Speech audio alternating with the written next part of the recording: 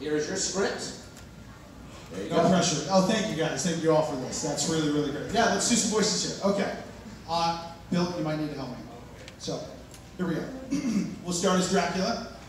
When the crypt doors creak and the tombstones quake, spooks come out for a swinging wake, and happy haunts materialize, and then they begin to vocalize. Grim grinning ghosts come out to socialize.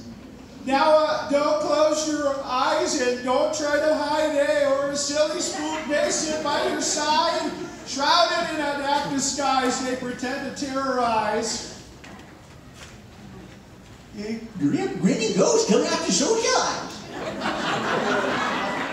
Little Star Wars for you.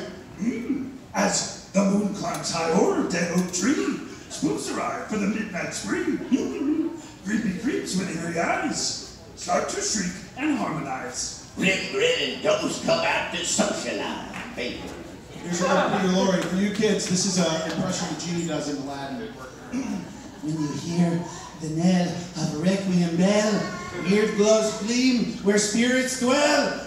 Restless bones etherealize, rise as spooks on every size. Grim grinning ghosts come out to socialize. And in the words of the Goulet Man,